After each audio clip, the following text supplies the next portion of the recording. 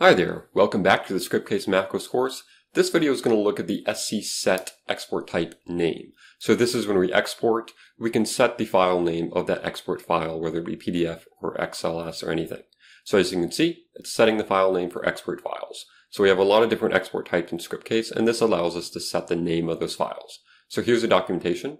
So export name, and then we just assign it equal to a name. So we need to swap out the export type for the type of Excel export that we're doing there. Uh, so this can be a PDF, XLS, XML, CSV, Word, or RTF, rich text. And it just needs to be prefixed with the SC set and then suffixed with that name there. So as you can see here, and then Scriptcase is automatically going to delete old files too. So setting that name here, so here's a here's a version of all the different uh, versions of this for this, for all the different export types here. We're going to focus on PDF for today. Um, and as you can see down here at the bottom, uh, it needs to be on the on application init right here.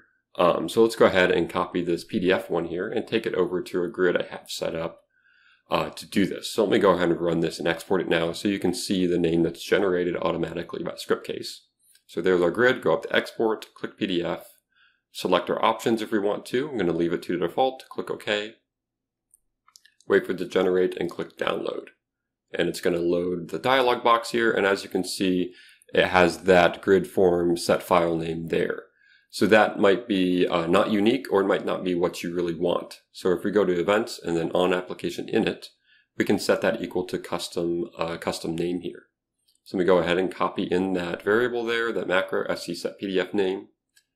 And then we can go ahead and type in whatever name we want. So I'm going to do PDF export file.pdf. It can be really whatever you want and go ahead and run that. And now when we try to export this PDF, it'll set the file name equal to something else. So go ahead and run this, click export PDF, select our options, click OK, wait for it to generate, and then click download here. And then it's going to open up that dialog box. And as you can see, it has a different name, PDF export file, which is what we set. And we can save that if we want. So that's how you use the uh, SC set file name for export types macro to set the file name export types for all these different export types here that Scriptcase supports inside of a Scriptcase grid or chart application.